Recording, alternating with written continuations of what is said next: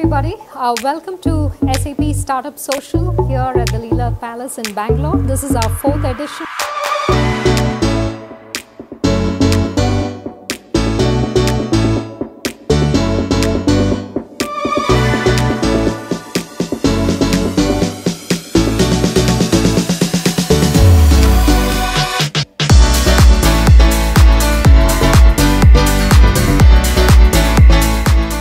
Perfect place where you bring together the startups from the community, investors, influencers, our own customers, partners, employees all together.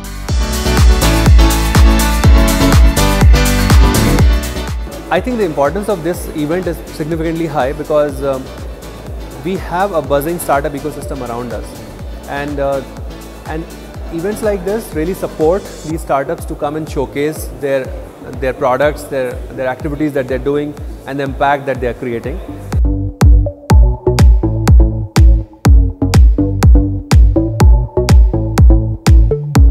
They bring together diverse set of people who are part of the community together in one room and the conversations that ensue, the kind of learning and the kind of uh, community that uh, builds uh, fuels everything else once you go out of the room.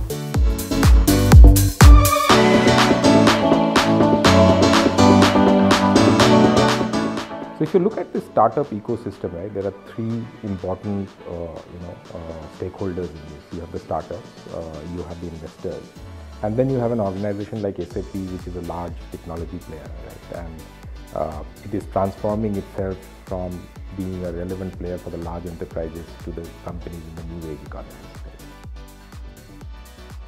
SAP is one of the largest platform players in the world, and you know, in the enterprise space in particular, they're a behemoth, and they have capabilities and you know resources to take Indian startups to the next level.